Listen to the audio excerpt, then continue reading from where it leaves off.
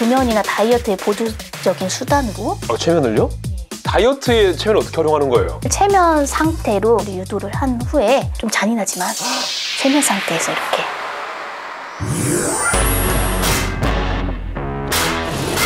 그알저알 44번째 시간입니다. 오늘은 하나, 둘, 셋.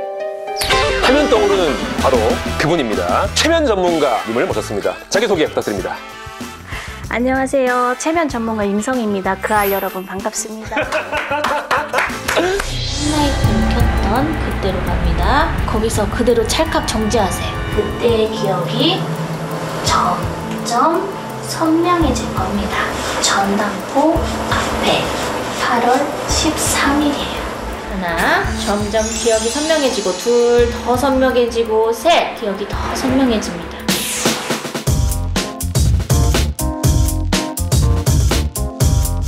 이 임성희 상담사님. 네. 예, 뭐 낯이 좀 익은 분도 있을 것 같고 항상 어둠 속에서 봐가지고 좀 낯선 분도 계실 것 같은데 일단 그 하시는 일에 대해서 좀 자세히 설명을 좀 해주시겠어요? 저는 이제 심리학 석박사를 전공을 하고 최면이라는 도구를 가지고 평상시에는 최면 상담을 진행을 해요. 공황장애라든지 우울증, 불면증, 뭐 트라우마 이런 것들을 진행을 하고 이제 그것이 알고 싶다 해서 이제 요청이 오거나 또 다른 계기가 있으면은 최면 수사를 진행을 하고 있습니다.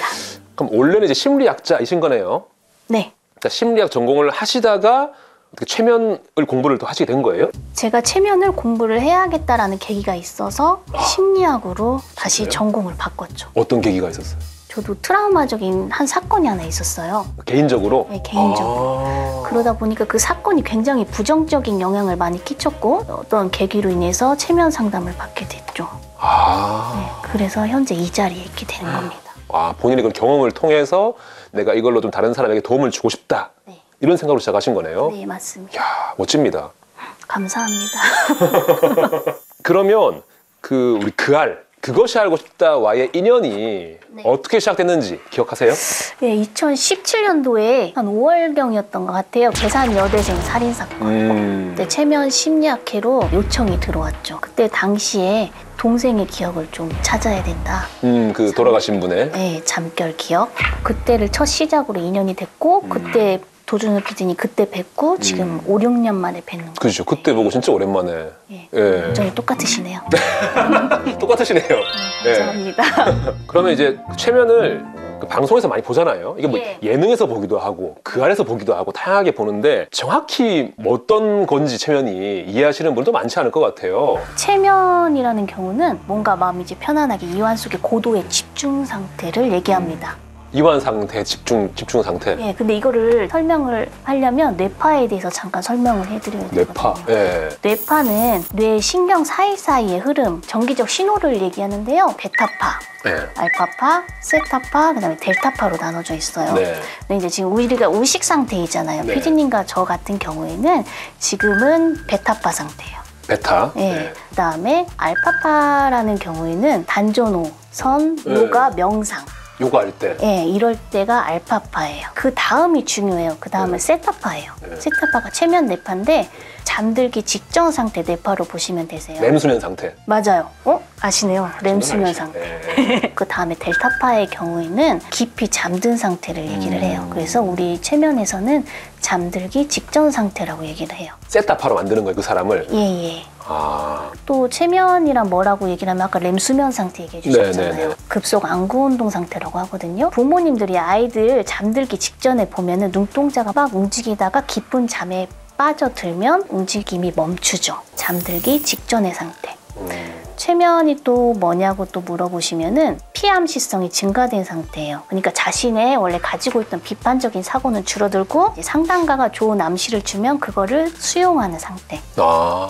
네, 그래서 이거를 짧게 종합해 보면 이완 속의 고도의 집중 상태, 잠들기 직전의 상태, 피암시성이 증가된 상태, 변형된 의식 상태, trance 상태 음. 뭐 이렇게 말씀드릴 수 있습니다. 피암시성이라는 거는 누가 어떤 얘기를 해도 거부하지 않고 그대로 받아들이는 상태인 거네요. 그렇죠. 어떤 질문에도 그대로 나오는. 그렇죠. 그런데 그것도 어떠한 뭐 이게 암시를 줘도 그대로 받아들이면 위험성이 있죠 최면에. 근데 사람 자체는 자신을 보호하려고 하는 본능이 있기 때문에 자신이 받아들일 부분만 받아들이고 어. 그렇지 않은 부분들은 거부할 수 있기 때문에 어, 알겠습니다. 그러면 이 세타파 상태가 되는 건데 그 상태가 되면 평소 지금과 뭐가 달라지는 거예요? 그 상태가 되면 굉장히 사람이 한 가지 상태에만 몰입을 하게 돼요. 아, 예, 아까쯤에 최면은 이완 속의 고도의 집중 상태라고 했잖아요.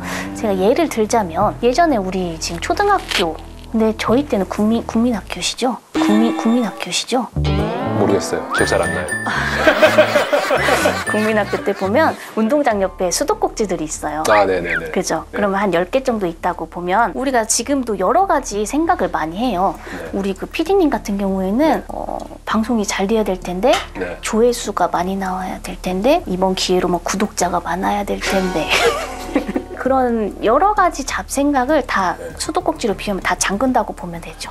그래서 하나의 하나의 기억 체면 수사 같은 경우에는 사건이 일어난 날 그리고 이제 심리치료 같은 경우에는 뭔가 내가 트라우마를 받은 음. 그런 사건.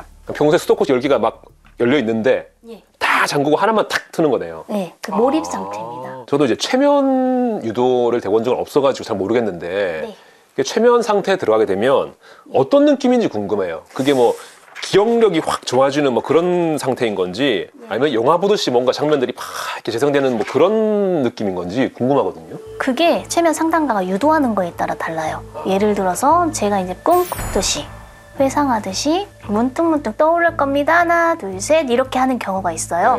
네. 내 기억이 점점 선명해질 겁니다. 전당포 앞에 8월 13일이에요. 그러면은 문득 문득 꿈꾸듯이 회상하듯이 상상하듯이 그런 상황이고 제가 가끔은 스크린이 있어요 앞에. 네. 스크린이 있는데 어제 봤던 영화 보듯이 재방송 보듯이 드라마 보듯이 눈앞에 펼쳐집니다라고 유도를 하는 경우에는 이제 그렇게 되고. 네, 하얀 스크린이 펼쳐져 있을 거예요. front of us, 그리고 영화 보듯이. Like watching a movie. 또 때로는 제가 뭔가 지시를 하지 않는데 그 개인의 성향 대로 이제 떠오르는 사람이 있고 눈앞에 펼쳐지는 사람이 있고 그렇게 되는 거예요. 기본적으로는 유도하시는 대로 좀 가는 편인 거네요. 그렇죠. 근데 갑자기 궁금한 게이 최면이라는 거를 처음에 누가 개발을 한 거예요? 최면의 역사 궁금해요. 세면의 역사에 대해서 설명을 해드릴게요. 네. 지루하셔도 아니, 괜찮아요. 아니, 저 궁금해서 물어본 거예요, 진짜. 최면은 18세기, 19세기 중세 시대 때 대부분의 의사들에 의해서 만들어졌어요. 치료 목적으로 의사들이 그렇죠.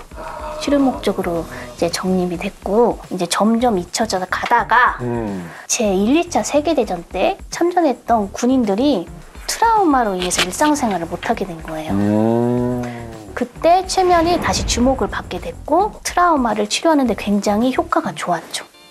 그러한 계기로 1955년도에는 영국 의학회에서 인정을 받고 1958년도에는 미국 의학회에서 공식적으로 인정을 받고 다 외우고 계세요?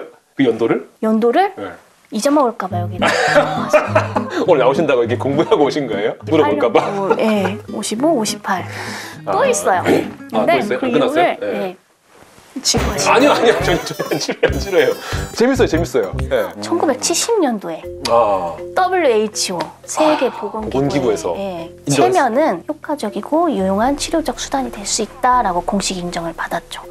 궁금한 게 있어요. 근데 그거는 최면이 치료에 효과가 있다 인정받은 거잖아요. 수사에도 도움이 된다 인정받은 것도 있나요? 그것도 네. 잠시 후에 제가 잠시 후? 얘기해 드릴게요. 지금 제가 아. 설명하는 중이어가지고 아, 그- 안 끝났어요, 아직? 안 끝났어요. 지루하시나요? 지루하지 않아요, 지루하지 않아요. 지루하지 않죠? 네네네. 음, 그래서 계속 해주시죠. 1970년도까지 했죠. 아, 그쵸, 그쵸. 50년 남았어요, 아직. 네.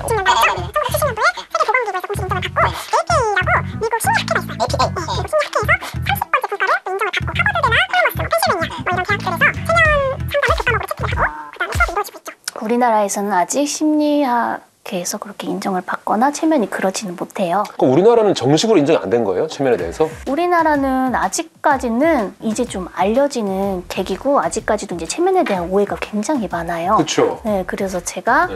여기를 나와야 되나 말아야 되나 네. 잠시 고민이 있었는데 이런 체면 부분에 대해서 음. 오해라든지 정확한 설명이 필요할 것 같아서 음. 이렇게 주로 어떤 오해가 있어요? 어 근데 체면의 역사에 대해서 지금 설명을 덜 했는데 역사에 대해서 지금 설명을 덜 했는데 아직 안 끝났어요? 네 아 진짜요? 아니 지루하신가요? 아니고요. 저 당연히 끝난 줄 알았어요. 아, 아니, 우리나라 체면은 아직 넘어오질 않았어요. 정말 중요한. 아 네네네.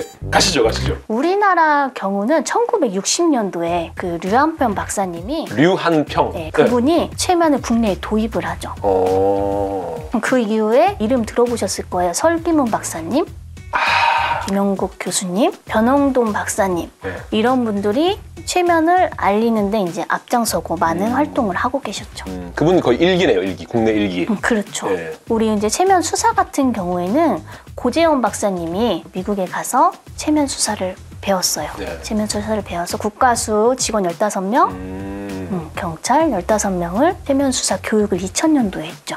와. 지금 체면 수사가 꽤 됐네요. 한 지금 이제 22년 차에 들어오잖아요. 음. 그 이후부터 시장에서 굉장히 지금 음. 활발하게 사용하고 있습니다. 그 최면 수사에 대해서 사회적 관심이 높아진 게 네. 그 이춘재 살인 사건 그때거든요. 당시 목격자들이 최면을 통해서 기억 속 범인이 이춘재와 비슷하다라는 사실을 떠올렸고 그 최면 진술들로 인해서 결국 이춘재가 자백을 받는데 도움이 됐다 이런 얘기가 나왔잖아요 당시에. 네. 그 실예가 이춘재가 그 범행 장소에서 네. 좀 떨어진 버스 정류장을 가죠.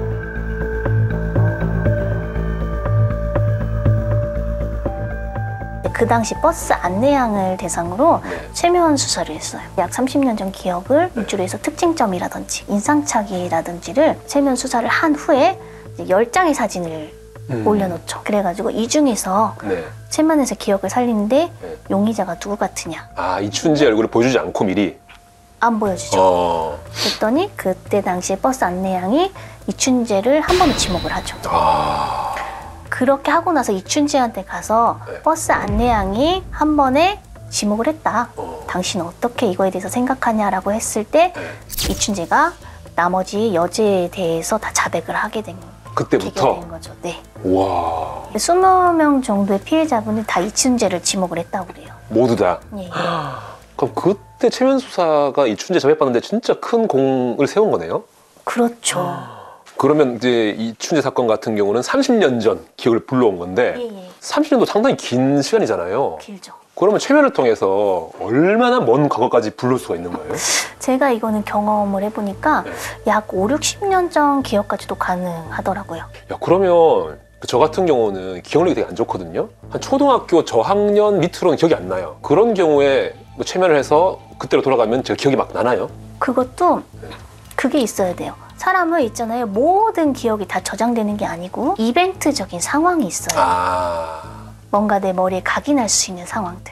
예를 들면 블랙박스도 그렇잖아요. 네. 블랙박스 기능 중에 쭉 녹화되다가 뭐 이벤트 덜컹 했을 때는 이벤트 영상으로 따로 기록되잖아요. 맞아요. 충격이 오면서 그게 딱 기록이 남잖아요. 네. 그것처럼 뭔가 평탄한 생활 속에서 아. 뭐 굉장히 내가 이벤트적인 상황을 겪었을 때 그런 기억들이 남는 거죠. 기억이 남는 거네요. 네.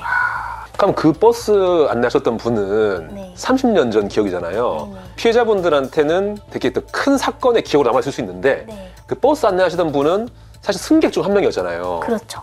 되게 어떤 큰 이벤트가 아니잖아요.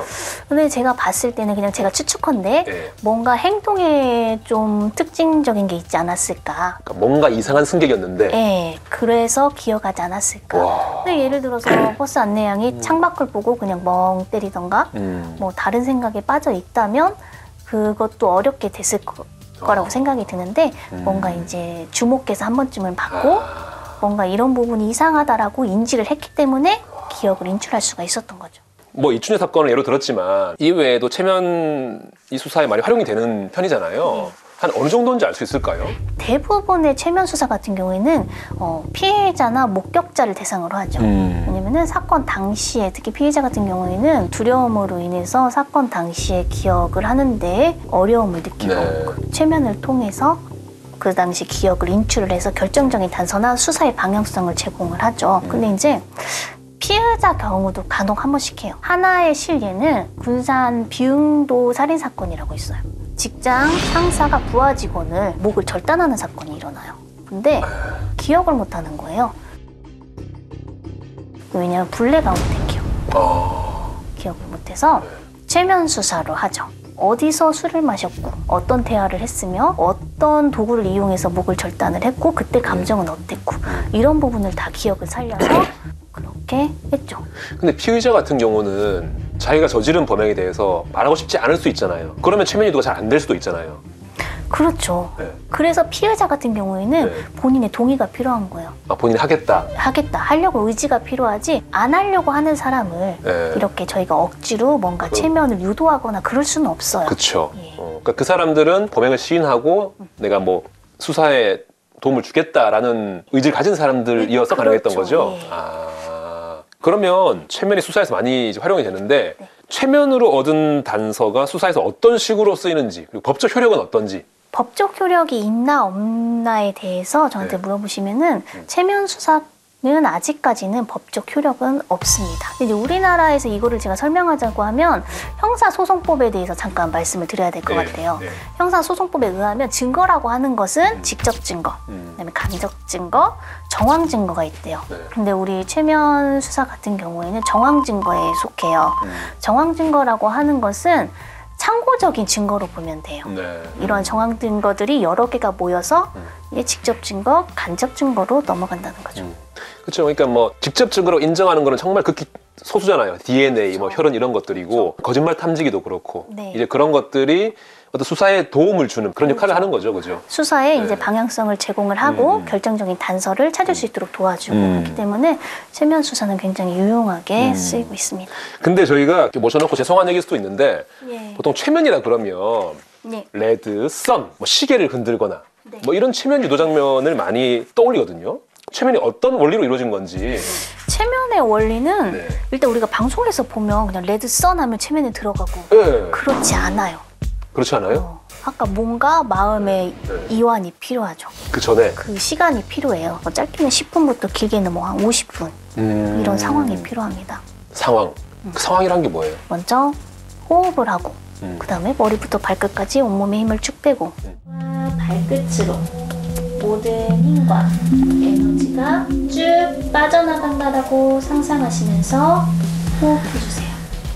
그때 엘리베이터에 이제 저희가 이렇게 표현을 해요. 지금 아파트 10층에 있습니다. 10층은 우리 의식을 얘기하는 거예요. 어. 그 다음에 1층은 전의식, 알파파 상태. 그 다음에 지하 10층까지는 최면 상태, 세타파 세타파. 상태. 그렇게 해서 한 층 한 층 내려갈수록 당신은 최면 상태에 들어가고 더 들어가고 점점 최면 상태로 유도될 것입니다. 라고 저희가 이제 유도를 하죠. 음. 네, 그렇게 한 후에 이제 방문 같은 경우에 최면 상태에서 기억을 찾기 위해서 한 가지 상황으로 가기 위한 작업이죠. 뭔가 마음이 점점 편안해집니다. 2001년도 문 앞에 서 계시면 되세요. 하나, 둘, 셋 하면 그 방문을 엽니다. 하나, 둘, 셋. 항상 그런 식으로 하더라고요. 뭐 엘리베이터를 타고 어딜 가서 또 문을 네, 열고 이렇게 네. 하더라고요. 그 기법은 최면 공부하는 분들이 주로 공유하는 그런 기법인 거예요? 아니면 본- 그렇지 개인적으로 않아요. 개발을 해야 되는 거예요? 본인들이 많이 사용하고 어. 본인들한테 맞는 기법들이 있어요. 아, 그럼 성당사님이 그걸 주로 쓰시는 어떤 기법인 거예요? 저는 그거를 주로 써요. 어. 이제 기억 그 최면 수사를 할 때 어... 기억을 찾아가야 될 때. 근데 저는 기억나는 게 제가 예전에 조연출할 때 예능에 조연출할 때 스타킹이라는 프로 있었거든요. 스타킹 네. 강호동 씨가 하는 그때 보니 설 성함이 설씨였던 것 같아요. 설팀? 아마 그랬던 것 같아요. 연예인들을 쫙 서른 명을 쫙 앉힌 상태에서 야 Red Sun 했는데 한 절반이 갑자기 잠드는 거예요. 네. 가능한 거예요 그게? 가능도 할 수도 있죠. 근데 네. 그런 부분 때문에 한편으로는 체면에 뭐 이렇게 걸린다라는 표현을 많이 써요. 네. 저는 걸린다라는 표현은 언어의 이제 용어에 적합하지 않은 것 같아요. 그러니까 체면 상태로 들어간다, 들어간다 걸린다가 아니라. 유도된다. 어... 네, 이게 맞는 것 같아요. 체면에 잘 유도되는 사람이 감수성의 차이거든요. 아 감수성이 좋은 사람. 좋은 사람. 연예인들 같은 경우가 감수성이 정말 좋아요. 어. 네. 아무래도 그 중에서 순간 집중을 잘 하신 분이겠죠. 아. 순간 집중을 잘해서 어. 그렇게 최면 상태에 유도될 수 있는데 아까 얘기했다시피 깊은 최면 상태에는 세타파 상태에는 유도가 좀 시간이 필요하죠. 어. 근데 최면 상태가 다 세타파 상태라는 건 아니고 네. 알파파 상태도 기억, 아까 단전호흡, 명상선 아. 예, 이렇게 왔다 갔다 하는 거죠. 세타파일 때는 깊은 체면, 음. 알파파일 때는 얕은 체면. 그렇게.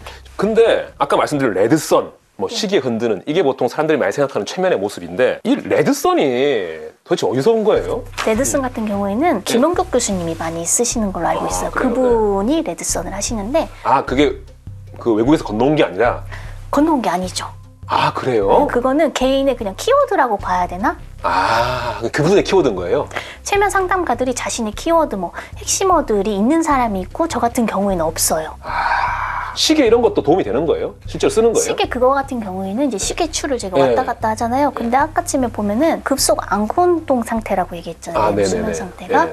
최면 상태에 들어갔을 때에는 운동자의 눈동자의 움직임이 있어요. 네. 그걸 인위적으로 하는 거죠.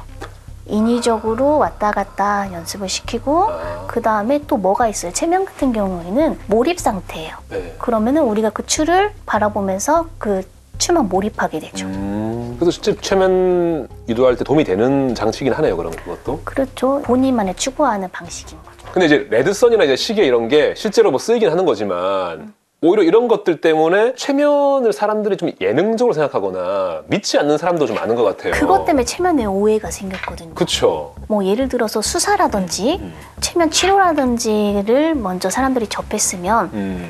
그런 오해가 없을 텐데 그래서 너무 예능적으로 소화가 되다 보니까 예, 최면이. 그냥 이제 뭐 쇼체면이라든지 이런 네. 경우니까 제가 그런 부분들은 앞으로도 계속 인식을 개선해 나가야 되는 숙제이지 음. 않을까 생각합니다. 그럼 최면은 크게 영역을 나누면은 수사 영역과 치료 영역 두 가지가 있는 건가요? 크게 보면? 크게 보면 그렇게 있죠. 크게 보면. 예, 예. 어. 수사는 한 20%로 보면 최면 상담 영역은 한 80%로 보시면 되세요. 음. 그 외의 것들을 가볍게 볼 수 있는 것들은 뭐 금연이나 다이어트의 보조적인 수단으로 아, 최면을요? 예. 다이어트 지금 우리 팀에 원하는 사람 많거든요. 지금 손 들고 있잖아요, 지금 저기. 어, 괜찮으신데 아니, 다이어트에 최면을 어떻게 활용하는 거예요? 일일 일닭 하는 사람 있잖아요. 하루에 한 마리 닭을 내가 먹어야 좀 이렇게 마음의 편안함을 느끼겠다. 그래야 뭔가 허기짐이 좀 메워지는 제 얘기하는 것 같은 생각이 말하다 보니까 선호하는 음식들을 체면 상태로 아까 세타파 상태로 유도를 한 후에 이제 떠올리게 하죠. 음. 그리고 또 한편으로는 다른 편으로는 본인이 굉장히 혐오하는 음식, 어. 네, 싫어하는 음식을 네. 떠올리게 해서 그거를 보고 촉감으로 만지게 하고 냄새를 맡게 하고 굉장히 싫어하죠. 네. 그거를 좀 잔인하지만 같이 이렇게 최면 상태에서 이렇게 믹스. 예 그렇게 그럼 어떻게 돼요? 하면 이제 이제 그렇게 해서 뇌 학습을 하는 거죠. 굉장히 내가 싫어하는 음식이고 이렇게 야, 그럼 그게 만약 최면이 잘 되면은 나는 하루 일일 일일 일닭 할 정도로 치킨을 좋아하는데 그 암시에 걸리면 내가 이 치킨을 싫어하게 되는 거잖아요. 내가 혐오하는 음식, 이제 개구리 뒷다리처럼 예를 뇌에다가 들어서 학습을 하는 거죠. 뭔가 네. 거부 반응이 생길 수 있게끔. 그런 식으로 좀 이렇게 다이어트나 폭식증에 도움을 줄 수 있다. 네네. 그런데 저희가 이제 이렇게 심하고 막 네. 진짜 건강 이상이 아닌 이상은 네. 제가 이제 음. 운동으로 빼시라고 하죠. 아, 최면 최면 안 하시고. 아니 구태 운동으로 빼고 아. 건강을 찾을 수 있는데 아. 최면까지 할 그건 아니어서 아, 그래도 가벼운 심각한 증상이 아니더라도 다이어트를 정말 원한다 내가. 뭐 몇 년째 하고 있는데 너무 다이어트가 안 돼요. 이런 사람은 할 수도 있는 거네요. 도움이 될 수 있네요 그 암- 암시를 주는 도움이 게. 될수 있죠. 오신 김에 저희 사무실 올라가셔가지고 저희 팀원들 상당히 원하고 있거든요. 1년 내내 다이어트 하고 있어요. 아, 한 번씩 해주시면 안 돼요? 저도 1년 내내 다이어트를 하고 있어가지고. 어, 지금 사실 저희가 대본대로 가야 되는데 제가 궁금한 게 많다 보니까 지금 이제 그러니까 저 아직- 이거 다 이렇게 그러니까요. 네네네. 이제 다시 이제 돌아갈게요. 원래대로.